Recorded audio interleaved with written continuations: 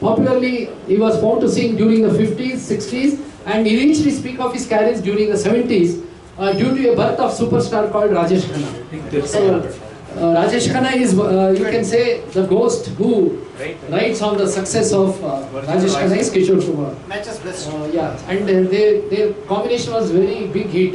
Kishore Kumar, Rajesh Khanna, R.D. Burman.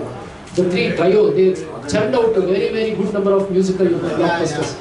And uh, Kishore Kumar was an Indian playback singer. He was a musician and an actor and a comedian. And he is widely regarded as one of the most greatest and most talented, influential and dynamic singers of all times.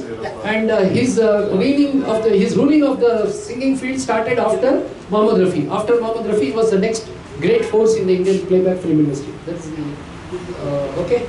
And uh, well, let us move on to the songs. Yeah, good, And, uh. If if you have something to say, uh, I think we'll. Uh, we'll like a photo.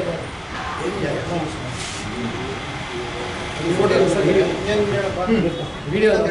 Video.